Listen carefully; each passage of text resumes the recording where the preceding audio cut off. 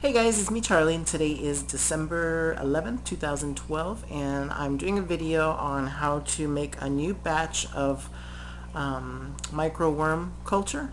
I just wanted to make a new batch up because the one I have here on the right is actually kind of overdue. So let me um, zoom in and show you guys what I mean. Alright, so this is my batch, excuse me, of um, see if I can get, uh, there we go. You see it moving? Those are the micro worms. And I need to make up a new batch. So what you'll need is some yeast, your current batch, or purchase some at a pet store. I got this for 75 cents and I got the size of a nickel. They gave me a nickel's worth. You'll need a bowl. You can either use oatmeal or bread of your choice. I always have wheat bread or whole grain bread. And then some water, just regular. Um, you could use sink water, but the problem with sink water, it kills bacteria. So it's preferred if you can actually use um, sink water that's filtered. So try not to use direct sink water because otherwise it will um, have chlorine in it and that will kill the bacteria, which is what we're trying to get this to do. You also need um, um a tablespoon or a teaspoon, doesn't really matter.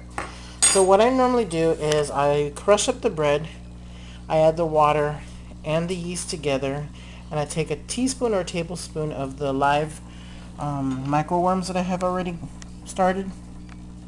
And I do this probably once a month because this actually starts to ferment and turn into like alcohol. And so this is done. And really what I do is I just take out one teaspoon or tablespoon, put it in the new batch that I'm going to make, which I'm going to show you next, and then the rest I discard.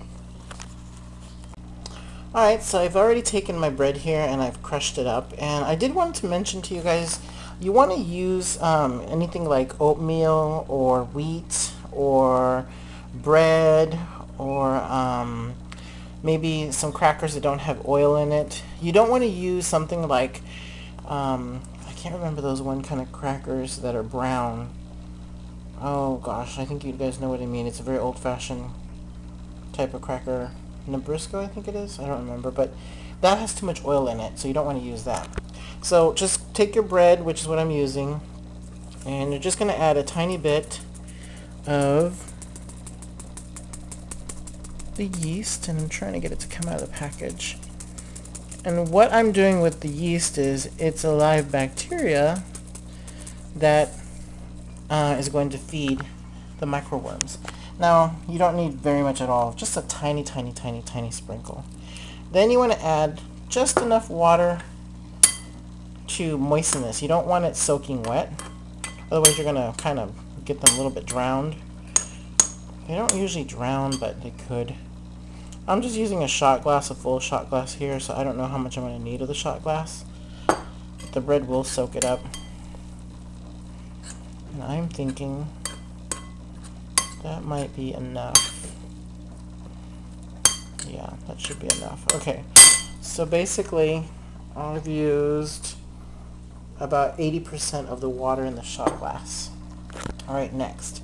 I'm going to go ahead and I want to scoop just a little bit of the blood, I mean bloodworms, the microworms. I'm going to take from the top here, right in the center, and I'm just going to take just a little bit. I'm going to scrape.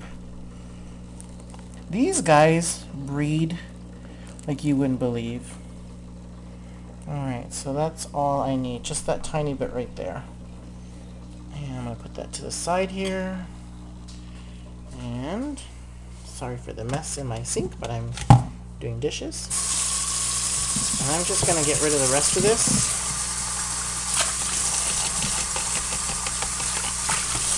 Throw these guys away. I don't know what other benefit they would do. I don't know what else you can do to... I don't know if you can put them in, like, soil to eat up stuff. I have no idea. So I'm just going to flush them down the sink. You could throw them outside if you want. I'm going to clean the container really well. It's got really hot water to get rid of any type of bacteria that might kill your colony, so you want to make sure you rinse it off really well. I have a top here that I don't close down on this. This is just a Rubbermaid container. See, it's just a little Rubbermaid container. Alright, so I'm going to put this off. Normally I hold this. I just don't want to set it down on the counter. Maybe I can do this. And I just dump... Okay, I'm going to do this with another hand. Yikes, I don't want to touch that.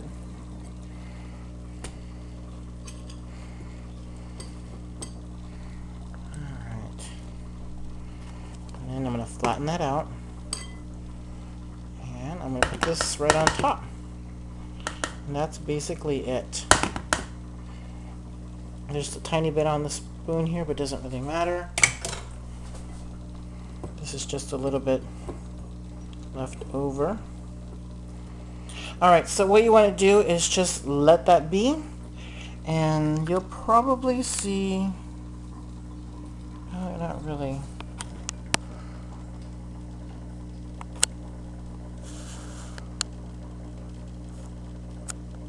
A tiny bit right there is going to overpopulate this thing within like four days.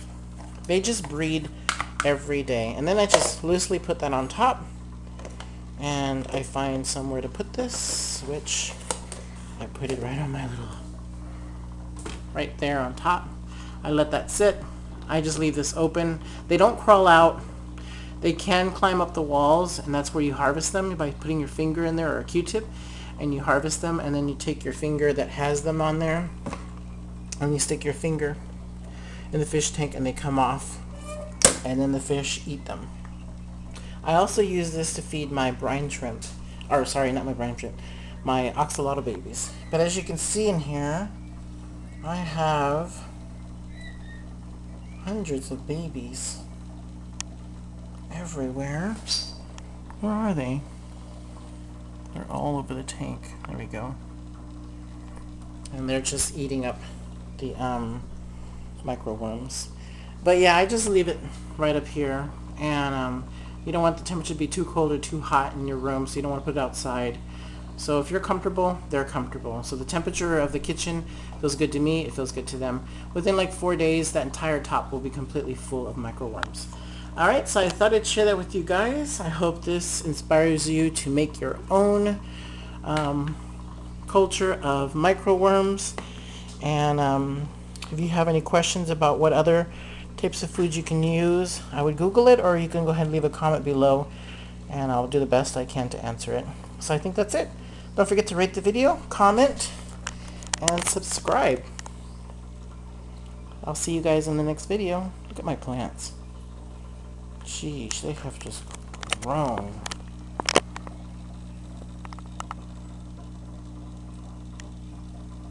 These snails here died long time ago. Aren't they pretty? And so I just kept them because their shells are really pretty.